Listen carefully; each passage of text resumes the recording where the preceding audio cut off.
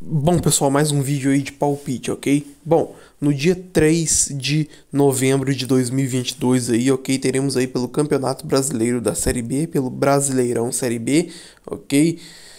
Bom, teremos aí Grêmio e Brusque, ok? O Grêmio já conseguiu acesso para a primeira divisão em 2023, ok? E o Grêmio vai estar jogando em casa aí, vai jogar a última partida do ano aí, ok? Na Série B do Campeonato Brasileiro aí. E o Grêmio é favorito, acho que o Grêmio vence o Brusque fácil nessa partida aí, ok?